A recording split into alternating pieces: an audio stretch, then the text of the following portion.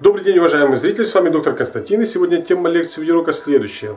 Как с помощью диагностики 12 меридианов узнать корень заболевания, которые часто посещают любого человека. Вот человек, допустим, знает свои уязвимые места и с легкостью может помочь себе при тех или иных проявлениях заболевания. Даже при простой, при простой простуде человек знает, откуда у него пришла простуда.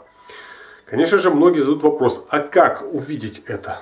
Здесь я с полной ответственностью вам заявляю, что если вы пройдете диагностику 12 меридианов хотя бы 2-3 раза в году, вы будете с полной точностью знать, какие меридианы у вас уязвимые. И эти меридианы восстанавливать.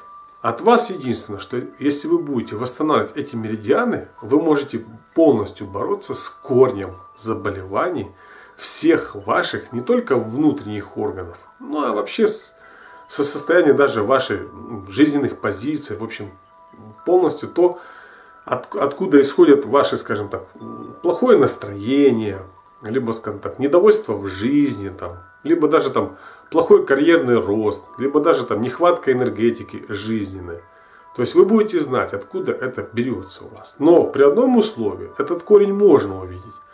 Но необходимо продиагностировать человека 2-3 раза в году, увидеть тенденцию состояния общеэнергетического баланса человека, вы уже знаете, что это такое. И, конечно, поканально отдельных каждых меридианов. И поверьте моему опыту, у многих людей есть меридианы, и группа меридианов, которые формируют ту или иную слабость, вялость, состояние хронического, состояния слабости всего организма, которое приводит к тем или иным заболеваниям.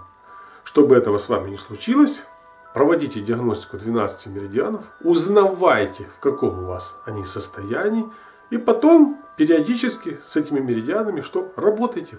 Восстанавливайте их. Не давайте им пребывать в слабости, в вялости, либо те меридианы, меридианы которые в воспаленности. Снимайте с них энергетический потенциал, вот, снимайте эту избыточную энергию, которая может привести к длительным воспалениям. И живите что? Счастливо и безболезненно. Спасибо за внимание.